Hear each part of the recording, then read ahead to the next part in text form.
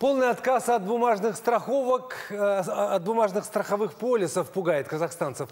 С 1 января 2019 года страхование должно перейти в электронный формат. В первую очередь это насторожило автовладельцев. Каждый из них, который обязан иметь полис гражданской правовой ответственности.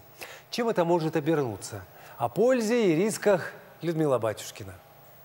Казалось бы, введение онлайн-страхования – это сплошные плюсы. Водителю не нужно возить с собой страховой полис. Он будет э, отображаться в единой базе данных, доступной полицейским. Во-вторых, обязательное страхование для автовладельцев должно стать дешевле. Но автомобилисты к новшеству относятся настороженно.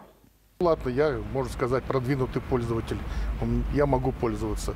А, допустим, мой э, ну, очень хороший знакомый, родственник, для него компьютер, он это темный лес. Мы будем надеяться, то, что это как-то удешевит страховку.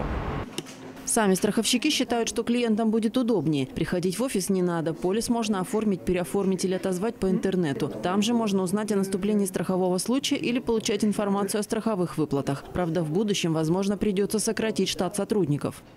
Ну да, в планах как бы это. Я считаю, что онлайн-страхование, оно положительно скажется на страховых компаниях.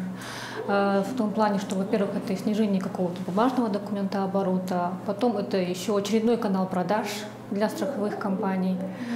Эм, Естественно, конечно, это потребует каких-то IT-инвестиций. Однако, по словам общественника Руслана Лазуты, подавляющее большинство дорожных инспекторов полиции еще не оснащено планшетами, по крайней мере в Караганды. А если электронные носители и есть, то базы данных в них постоянно зависают. Представьте э, вот такой вот малограмотный полицейский, а их у нас подавляющее большинство э, на дорогах, которые осуществляют э, э, безопасность дорожного движения, что э, он будет ну, всячески ну, отравлять жизнь э, водителю э, и ссылаться на то, что нет, вы подождите, мол, да, э, сейчас вот база заработает, и я вас там проверю. Еще одна проблема – мошенничество со страховками. По данным МВД, сейчас от 10 до 20 процентов бумажных страховых полисов в стране фальшивы. Однако решит ли эту проблему новшества, пока не ясно.